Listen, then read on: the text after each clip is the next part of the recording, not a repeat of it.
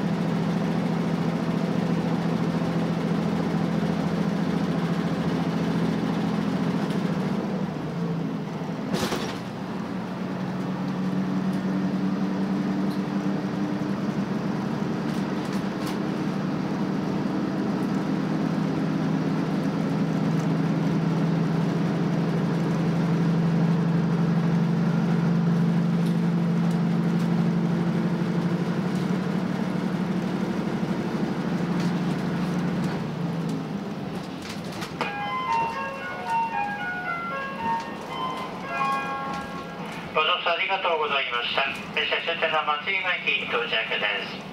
出口は右側です。3番乗り場に到着します。到着した後は回送列車となります。座席周りや棚の上の荷物棚の上荷物を忘れないようにお気をつけください。また感染症対策のため客室車内にはゴミを残さないようにお降りください。また使用したカーテンは元の位置へ戻してお降りください。ご使用になりました座席横のカーテンは元へ戻してお降りください。子供のいでは中央のデッキにあります。車内にはゴミを残さないようにお降りください。松島から先の乗り換え列車は特急潮風12号岡山行き石内12号高松行き別列車高松行きのそれぞれお乗り換えです。乗り換えのお客様一番乗り場においでください。特急潮風12号岡山行き石内12号高松行きは9時15分。別列車高松行きは9時36分の発車です。階段を取り一番乗り場へそれぞれおいでください。到着前列車少し揺れますのでお立ちの先をお気をつけください。